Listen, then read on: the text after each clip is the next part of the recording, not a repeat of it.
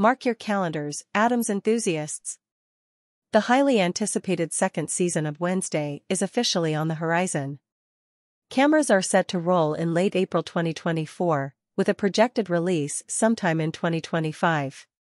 Series creators Alfred Gough and Miles Millar are eager to continue Wednesday's macabre adventures in season 2.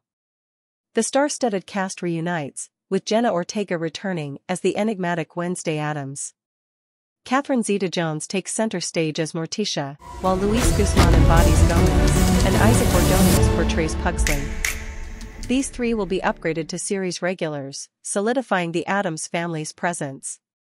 New faces join the cast as series regulars, Billie Piper, Evie Templeton, Owen Painter, and Noah Taylor. Adding to the excitement is a guest star lineup boasting Christopher Lloyd, Joanna Lumley, Frances O'Connor, and more. Season 2 is expected to pick right up where the season 1 finale left off.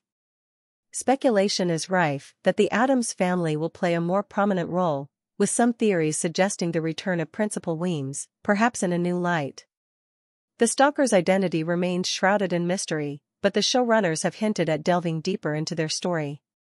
Tyler and Laurel's potential return hangs in the air, while Morticia Addams might take on a new role at Nevermore. We might even be treated to an introduction of Bianca's enigmatic family. So, prepare for a thrilling roller coaster ride filled with suspense, supernatural mysteries, and the signature kookiness of Nevermore Academy.